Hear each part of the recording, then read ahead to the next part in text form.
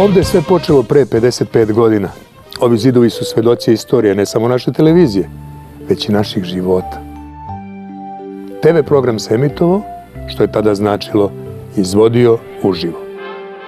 Tamo u uglu bio je stoj, iza njega tabla sa mapom, odakle je Mića Orlović vodio dnevnik. Ovde sam ja prvi put zaigrao na televiziji u drami Dovoljno je čutati.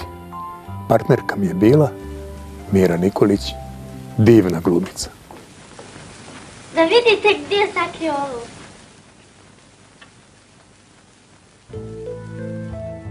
Moja druga koleginica, prelepa Olga Nađ, prva je progovorila sa TV ekrana. Ovdje su Mija i Čkalja, neponovljivi Mija i Čkalja, igrali servisnu stanicu. Za tebe i ostale ja više nisam Raka, nego VD šef servisne stanice, drug VD Raka. U redu, druže, VD Rako. Ja sam samo hteo da pitam da će da bude dosta ovaj pevac. Ti baš hoćeš da mi upropastiš proslavu. Mator pevac. Dječji smijeh slušam sad ponekad naš Već dugo sam Pa, nisam bio loš frajer, šta da vam kažem. Svi mi volimo da se sećamo vremena u kome smo bili srećni, zar ne? Ovaj program je priča o tom vremenu, a i priča o našoj televiziji koja nam je sve ove, a i mnoge druge glumce, sportiste, pevače, događaje donosila u naše kuće u posljednjih 55 godina.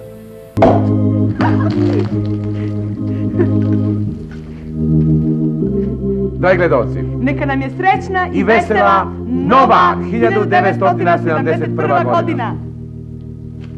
Televizija je stvarala i prve velike zvezde.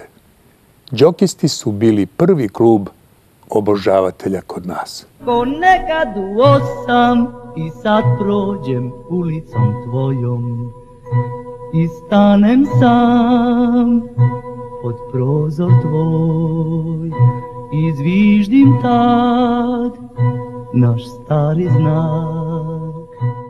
Nekad smo se sablažnjavali gledajući našminkanog Olira Mandića, ali smo voleli i njega i njegovu muziku.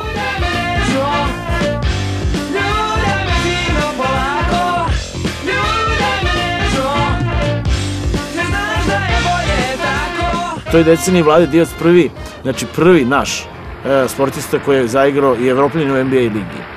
Kusturica prvi režiser koji je uzeo ozbiljne nagrade u, svetu. Laza Mojsov bio prvi predsjednik Generalne skupštine Ujedinjenih nacija u tom trenutku. Jugoslavija je izvozila jugo u Ameriku. Izvozila je tenkove Iraku.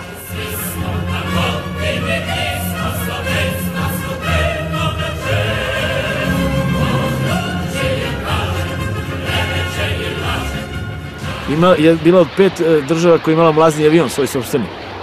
Evo, I naravno pobedila na Euroviziji. U toj deceniji.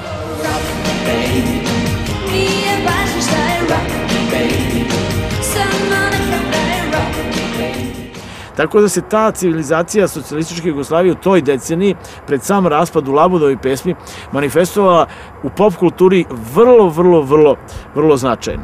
Znači, sve ovo što sam spomenuo su u stvari, mm, stvari ikone pop kulture.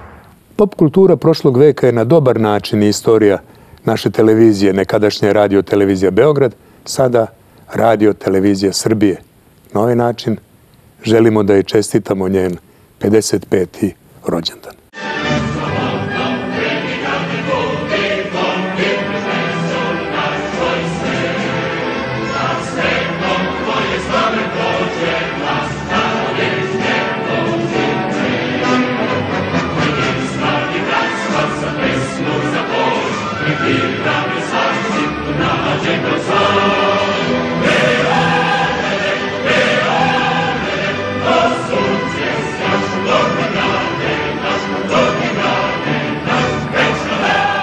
Prvi direktan prenos futbala na našoj televiziji je bila utakmica Sovjetski savez Jugoslavije.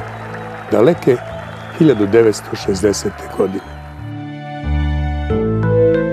Rezultat je bio 2-1 za Sovjetski savez.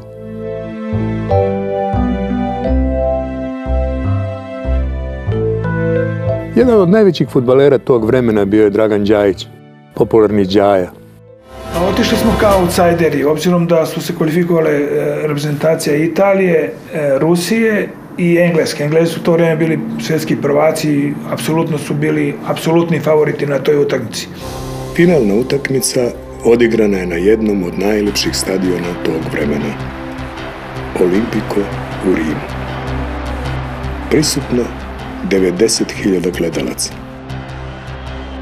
Sa jednim velikom dozom optimizma ušli smo u finalnu utakmicu protiv Italije i tada smo imali puno šansi. Nismo pobedili i to je jedna od najboljih igara jugoslovenske reprezentacije. Briljantno smo igrali utakmicu, trebali smo ubedljivo da pobedimo. A nikada prevaziđeni Dragoslav Šekolarac, popularni Šeki, jedini od naših igrača koji je dobio mesto u svetskom timu posle prvenstva u Čileu 1962. godine. Šeki je postao jedan od najpopularnijih igrača toga vremena. Sa popularnošću je išao i položaj u ženskom društvu. Ali u moje vreme, na primjer, se znalo u Beogradu e, Milica Pašić, Ljubica Optašević, e, onda Baraga, onda Beba Lončar, e, Olja Ivanjicki. Iako se ne zabavljaš sa tih deset najuglednijih devojaka Beograda, onda nisi nikakav frajer. Šeki je pokušao da uzme hleb i nama glumcima. Ako je lopta umetnost, s njom treba ovako.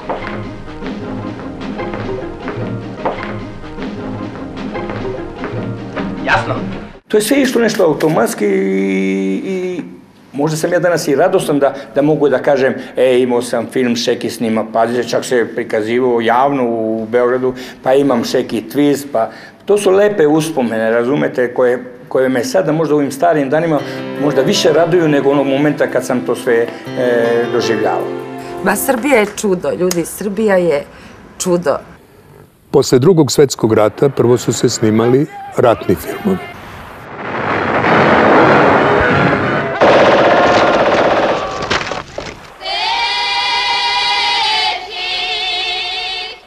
Potom crni filmovi, kako su se tada zvali, Ovde upravnik Doma kulture ili tako nešto?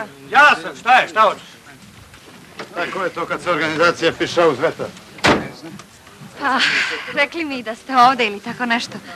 Mislim, šta je s mojim angažmanom? a onda komedije, drame, mešavine svega i svačega.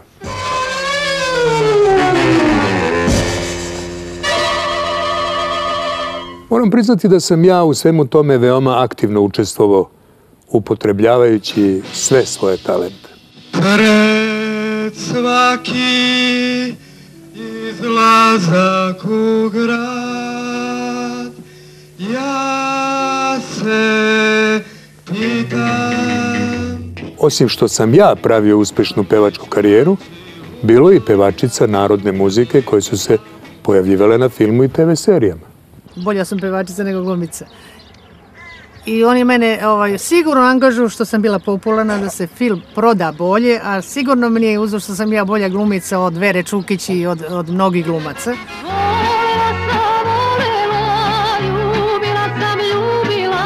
Šta to, šta mi znači?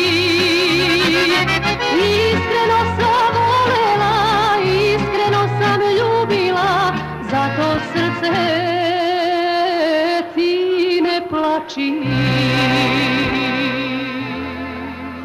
Pa kažem, ja sam već e, uzeta kao popularna, a Silvana je e, uzeta kao nije bila puno poznata, s time je napravila ona karijeru.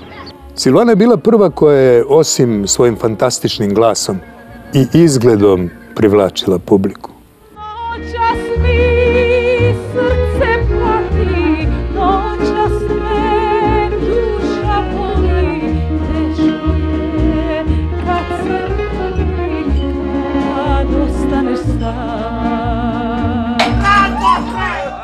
Nešto godina kasnije pojavila se nova zvezda koja je prva kod nas počela da pravi nastupe za pamćenje.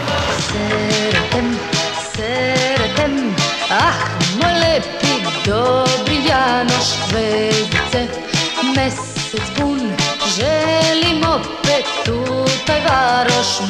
Meni se to već tada sve već dopalo.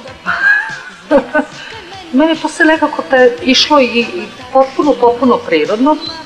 Naravno, samo je trebalo naći vremena da između svih tih koncerata snimati i to. Pa zar se tako drži brisač? Pa lako se to radi. Treba pritisnuti. Izvolite. Na sceni zabavne muzike pojavio se još jedan seks simbol ovoga puta. To je bio muškarac. Zdravko Čolić.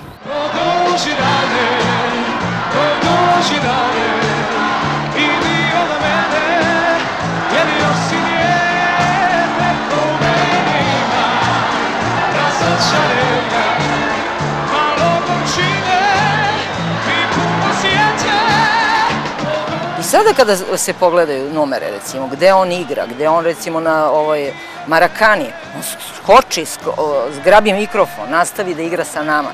Mislim da se vidi da je to fenomenalno bilo.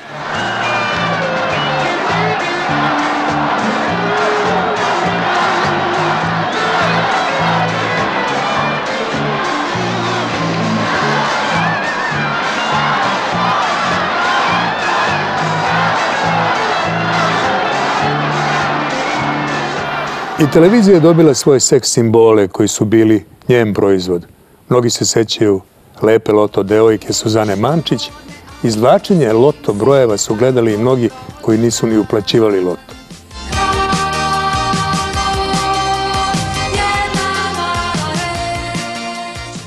Biljana Ristić, bivša mis Jugoslavije 1972. godine, napravila je karijeru imitatorke i prave TV zabavljačice. Ona je jedna od autentičnih zvezda naše televizije. Volim te budalo mala. Ne znam šta ti ne bih dala. Znaj da nisam s Marsa pala. To je ljubav, a ne šala. Rock and roll ili kako bi se to prevelo na srpski jezik, Stena i Kotur, pojavio se i živeo na našoj televiziji uprkos vremenu u kojem je nastajao. Počelo je sa siluetama i elipsama, a nastavilo se sa Korni grupom,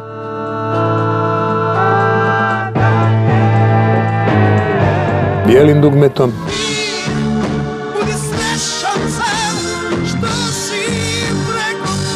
a potom i novim talasom.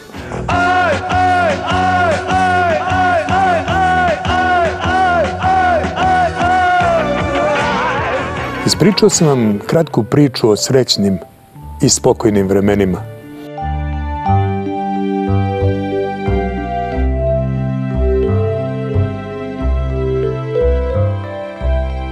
O kinematografiji u kojoj su glumile najveće naše i svetske zvezde.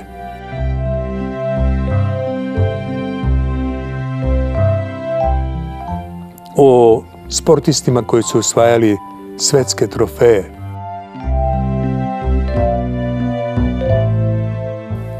O prvih 30 od 55 godina RTS-a koji nam je sve ovo donao. Serija programa Kada je juče bilo danas prikazat će nam najlepše trenutke od 60-ih do kraja 80-ih godina. Meni lično ovo je jedan od najlepših trenutaka. Još ne, dok ne vidim planet.